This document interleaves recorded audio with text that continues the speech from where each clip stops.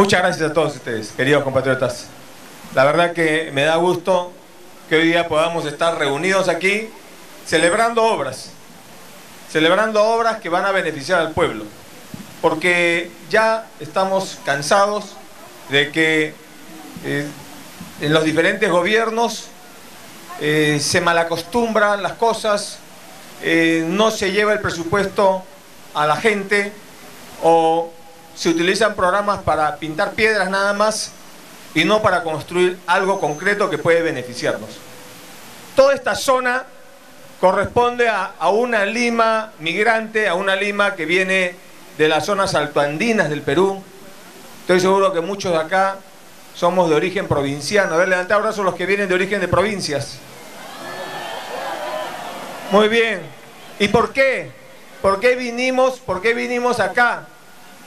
Porque no había oportunidades allá, porque no había oportunidad de trabajo, de educación, estábamos abandonados allá arriba y, los jóvenes le dijeron a sus abuelos, yo no quiero estar como tú, así que dime dónde hay oportunidades para avanzar, para, para hacer algo, para ser alguien. Anda, anda a la costa, le dijeron, anda a Lima. Ahí están las oportunidades. ¿Por qué se han construido allí las oportunidades? Porque el Estado ha sido un Estado centralista, un Estado que no tenía la fortaleza de subir al cerro, que le daba soroche y se bajaba, y por lo tanto se quedó en Lima, se quedó en la costa, y ha hecho que hoy día el 30% de la población peruana viva en la costa peruana. La costa peruana alberga hoy día, en la costa, no solamente en Lima, más del 60% de la población. Y fíjense ustedes la problemática del agua. Del, del 100% de las reservas de agua dulce que tenemos nosotros, solamente el 1% o menos llega a Lima o llega a la costa. El 1.7% está llegando a la costa. Y más del 95% se va a la, a la Amazonía. Y en la Amazonía sobre el agua, pero en la costa falta el agua. Pero acá vive más del 60% de la población, con el 1.7% de las reservas de agua que tenemos a nivel nacional, vive el 60% de la población. Y en la Amazonía vive el 29% de la población, o el 30%, con más del 90% de las reservas de agua dulce. Esa es la gran problemática que ha generado un Estado centralista, un Estado que quiso construirse solamente en la, en la costa. Y cuando llegan, llegan las familias de las, de las zonas altoandinas, de la Amazonía, buscando una oportunidad en la capital o en la costa, llegan a Lima y ya está Lima ocupado. Los valles del Chillón, del Urín, del Rima ya están ocupados. Las zonas costeras están ocupadas. ¿Qué nos queda entonces? Los cerros, nos quedan los cerros, como en las zonas altoandinas, nuevamente a poblar los cerros. Y comenzamos a poblar los cerros o a poblar los arenales de, de para adentro. ¿Y cuál es la, cómo nos da la bienvenida el Estado? ¿Cómo nos dio hace 50 años la bienvenida el Estado? Nos metió la policía para sacarnos, para desalojarnos. Y vinimos y resistimos aquí, con nuestras esteras, resistimos aquí porque teníamos familia, porque teníamos que defender nuestro futuro y el futuro de nuestra familia. Es así que se fue construyendo todas estas Lima, Lima grande, Lima periférica, Lima norte, Lima este, Lima sur, construyéndose en base al esfuerzo y a la tenacidad de gente que vino del interior del país a buscarse un futuro. Muy bien. Y han tenido que pasar décadas para que ese futuro se vaya constituyendo en pistas y veredas, en algunas escuelas, postas médicas, pero aún subsisten los problemas. Necesitamos muros de contención como los que trabaja, trabaja Perú, jóvenes a la obra, pero necesitamos el agua. Da la impresión que hubiera habido acá un bombardeo de tal manera que hay que reconstruir de cero. Por eso es que creamos el programa 148 para, para generar eh, llevar el agua a toda la población de Lima. Una obra millonaria. Son miles de millones de soles que tenemos que invertir en el agua y el desagüe. Pero es la forma de demostrarles a ustedes con su agua, su electricidad, sus pistas y veredas, su posta médica, su colegio, sus programas sociales y su seguridad, que los respetamos y que estamos con ustedes.